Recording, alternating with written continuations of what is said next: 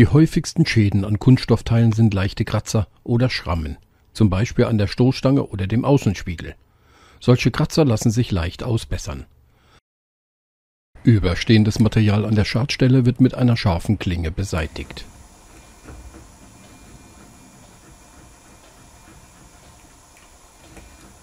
Ein beschädigtes Kunststoffteil muss zuerst einmal rund um die beschädigte Stelle abgeschliffen werden, um zu sehen, wie tief der Kratzer ist.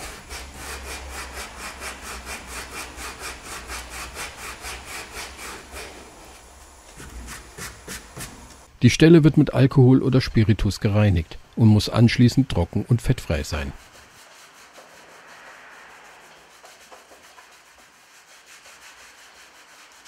Ein sehr effektives Set für die Reparatur von Kratzern in Stoßstangen aus Thermoplast ist das Kunststoffreparaturset der Firma ATG. Ist ein tiefer Schaden vorhanden, wird mit einem Zwei-Komponenten-Epoxidknetmasse die offene Stelle gefüllt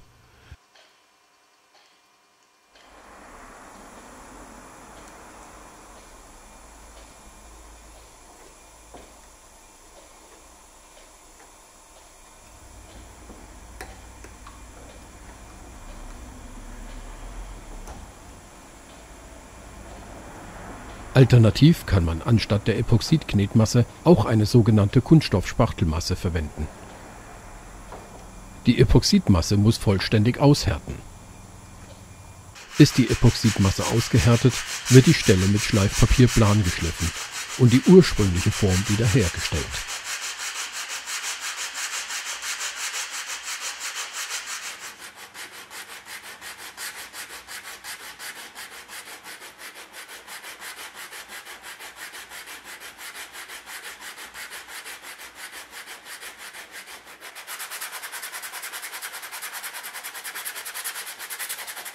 Eventuell muss nochmals etwas Masse aufgetragen werden, um die letzten Unebenheiten zu beseitigen.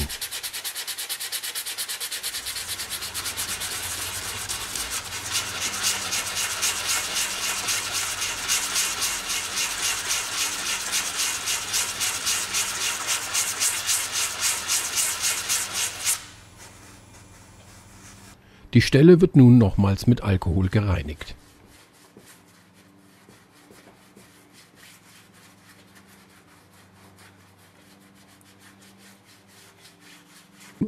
Die fertige Stelle wird nun mit einer Textur und Farbe versehen.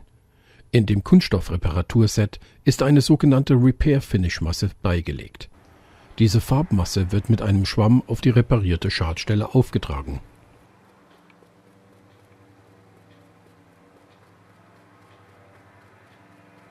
Bei schwarzen Stoßstangen ist diese Stelle nun nicht mehr zu erkennen